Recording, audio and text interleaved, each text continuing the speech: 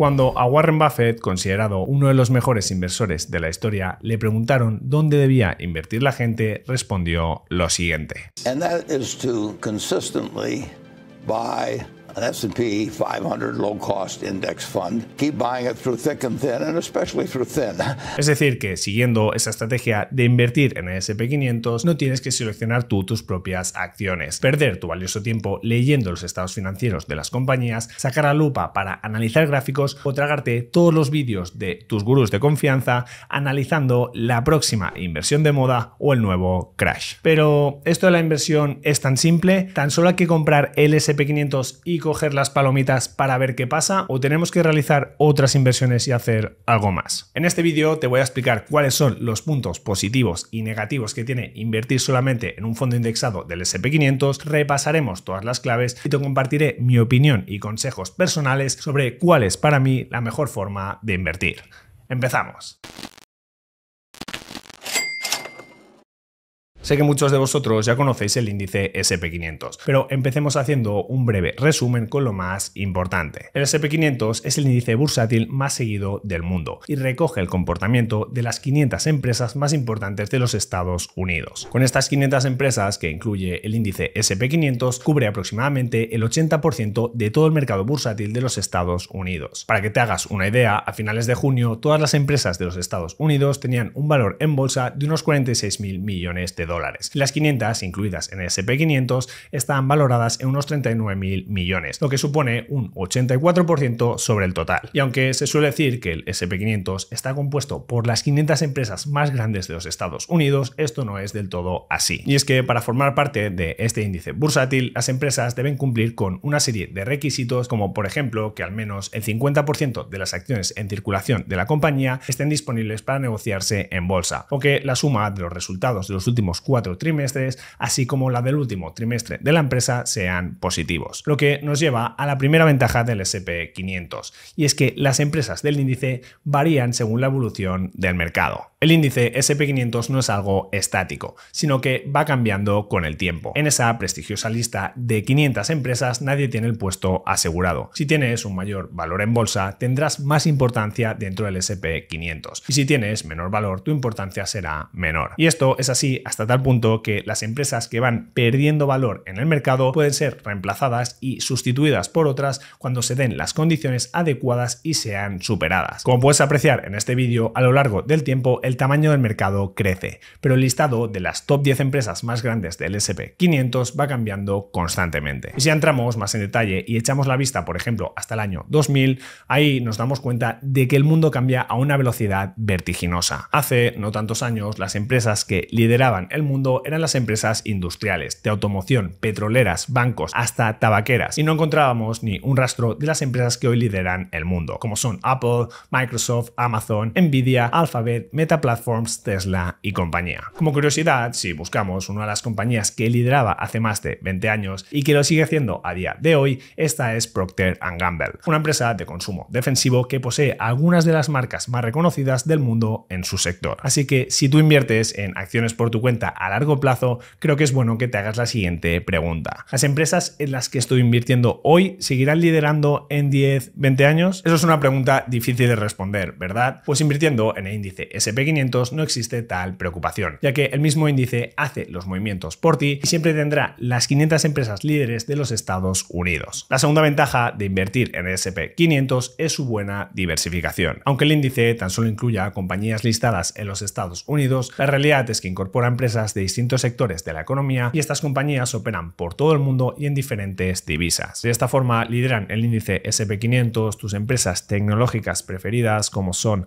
Apple, Microsoft y también Nvidia, seguidas de las empresas de cuidado de la salud o healthcare, como puede ser United Health, y después ya vendrían las empresas del sector financiero, como puede ser Berkshire Hathaway, el holding de Warren Buffett. Uno de los errores más típicos y graves que cometen los inversores principiantes es el hecho de no diversificar sus inversiones y apostar todos sus ahorros a unas pocas empresas. Y esto puede ser una buena estrategia si realmente sabes lo que haces y quieres asumir ese riesgo. Pero en la mayoría de los casos suele acabar en fracaso y arrepentimiento. Así pues, el índice SP500 con sus 500 empresas de diferentes sectores está suficientemente diversificado y te permite no tener todos los huevos en la misma cesta, algo que es importante por si tienes algún resbalón. La tercera ventaja de invertir en el índice SP500 es su rentabilidad a largo plazo y la posibilidad de invertir con bajas comisiones. La rentabilidad media histórica que ha ofrecido el SP500 desde 1957, que fue la fecha en la que empezó a tener 500 compañías, ha sido superior al 10% anual. E incluso si tenemos en cuenta el devastador efecto de la inflación, las rentabilidades siguen siendo muy buenas, ofreciendo el índice rentabilidades reales por encima del 6% anual. Y para que te hagas una idea de lo que significan esas rentabilidades, si hubieras invertido tan solo 100 dólares en 1957, a día de hoy, en 2023, se habrían convertido en más de 65.980 dólares.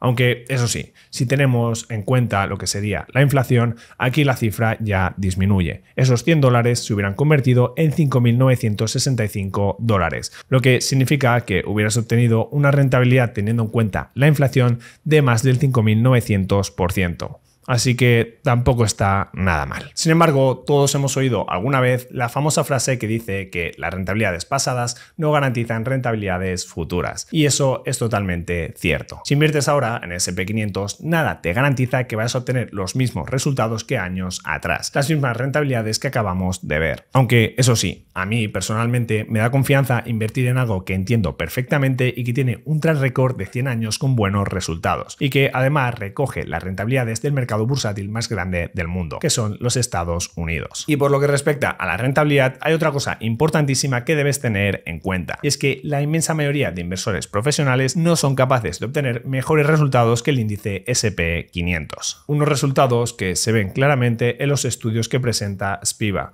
donde si observamos los que obtienen los gestores de fondos de inversión que invierten en grandes compañías, sí, podemos ver que a un año más o menos la mitad de los gestores baten al índice de referencia, es decir, obtienen mejores resultados que el índice SP500. Sin embargo, a medida que vamos aumentando el plazo de la inversión, podemos ver como el porcentaje de inversores, de gestores profesionales que obtienen mejores resultados que el SP500 va disminuyendo considerablemente. Y tanto es así que si nos vamos a un horizonte temporal de 15 años, más del 93% de los fondos obtuvieron peores resultados que el SP500. Está claro que a día de hoy es muy accesible y barato invertir en el SP500 y que los gestores van a seguir teniendo un gran reto por delante intentando superar esta inversión. Pero mucho ojo que no todo son ventajas. La primera desventaja que tiene el índice SP500 es que no incorpora empresas de fuera de los Estados Unidos. Así que si solamente inviertes en este índice bursátil, estás renunciando a la exposición y posibles ganancias que ofrezcan las empresas de otros países. Vale, Carlos, pero ¿y qué ofrece mejores resultados? ¿Invertir en las empresas de Estados Unidos o invertir en compañías del resto del mundo? Pues la batalla entre acciones estadounidenses e internacionales es bastante dura y como podéis ver en este gráfico está bastante ajustada. Depende del periodo de tiempo que analicemos, lo hacen mejor unas acciones u otras. Y aunque es cierto que en los últimos 10 años en 8 ocasiones han salido ganadoras las empresas estadounidenses, el futuro es incierto. Ya os sabéis eso de que rentabilidades pasadas, bla bla bla. En fin, lo que está claro es que con otros índices mundiales que luego veremos puedes tener una mayor diversificación e incorporar empresas de otros países, algo que a mí personalmente me gusta bastante. Y la segunda desventaja que tiene invertir en índice SP500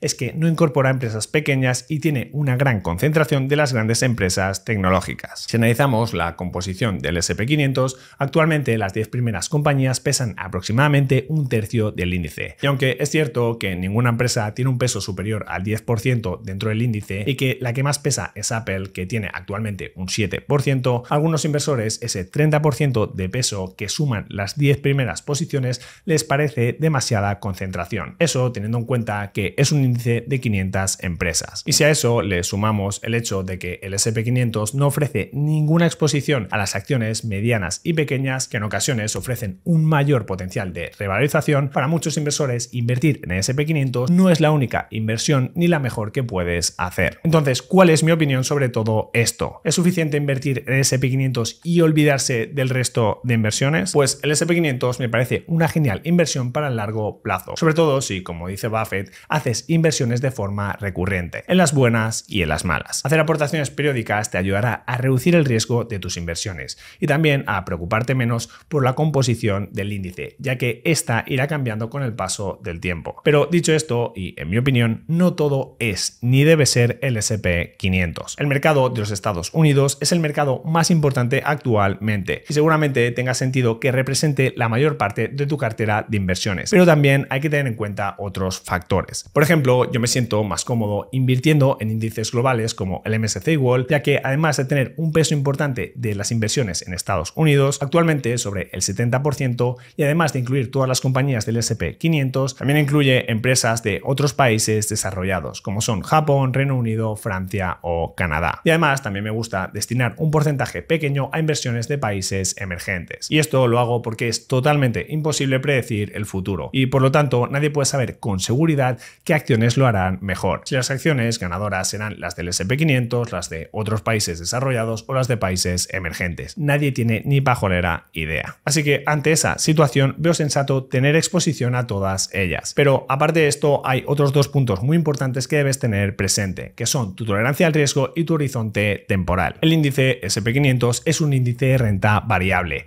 de acciones y las acciones son volátiles, su precio cambia día a día y puede haber caídas importantes en bolsa. Por ejemplo, en bolsa no es descabellado ver caídas superiores al 20% en un año. Esto significa que si tú eres una persona que no tolera bien la volatilidad o que se pone muy nerviosa cuando ve pérdidas en su cartera de inversiones, invertirlo todo en SP500 no creo que sea tu mejor opción, ya que lo más normal en esos casos es que cuando lleguen tiempos duros, que lo sabrá, acabes vendiendo tus inversiones en un mal momento y por lo tanto pierdas dinero. Y por lo que respecta al horizonte temporal, debes tener en cuenta que la inversión en SP500 es a largo plazo. Si tú, por ejemplo, quieres invertir un dinero que vas a necesitar en un plazo de 3 años o menos, no creo que lo mejor sea invertir en SP500, ya que en ese caso estarás asumiendo demasiado riesgo y la volatilidad del mercado podría jugarte una mala pasada. En ese caso es mucho más recomendable invertir en productos más conservadores como algunos que ya hemos mencionado en este canal. Renta fija a corto plazo, depósitos, fondos monetarios, etc. En definitiva, yo digo que SP500 sí,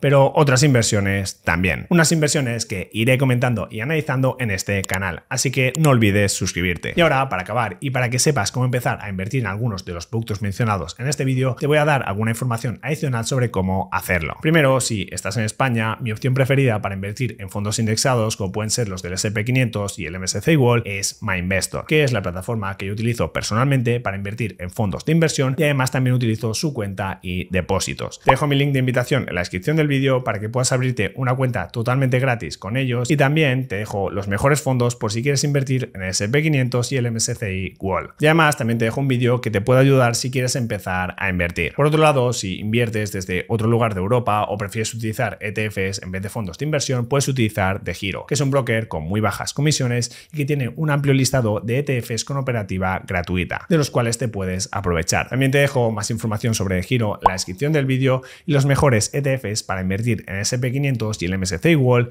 y un vídeo de apoyo. Y ya por último, si me estás viendo desde fuera de Europa, ahí seguramente tu mejor opción sea invertir en ETFs con un broker como Interactive Brokers, que tiene una gran reputación y está disponible prácticamente en todo el mundo. Y esto ha sido todo por hoy. Espero de veras que has aprendido sobre el SP500 en este vídeo. También recuerda suscribirte al canal activando las notificaciones si te ha gustado el contenido, dejar tu like para apoyar este vídeo y nos vemos en el siguiente. ¡Chao!